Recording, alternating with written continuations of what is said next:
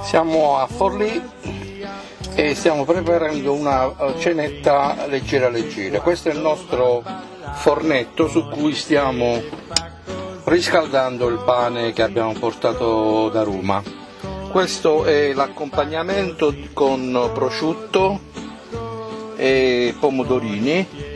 Abbiamo fatto già l'antipasto con polipo bollito a insalata e condito e, e carciofini sott'olio, fatto il pane leggermente a bruschetta, a parte nel fornetto abbiamo messo le uova senza olio e senza niente a cucinare nel fornetto a fuoco lento, la piastra chiaramente già eh, preriscaldata, 2-3 minuti e le uova saranno pronte.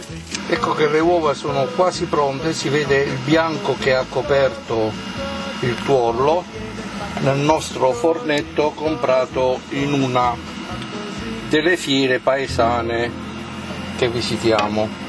Ed ecco due uova al tegamo, al tegame con prosciutto, pomodorini e pan eh, a bruschette, il pane fatto a bruschette, un Chianti eh, della Contina, un Chianti però vecchio, non è di ultima produzione, non l'abbiamo comprata adesso, è roba di acquisti precedenti.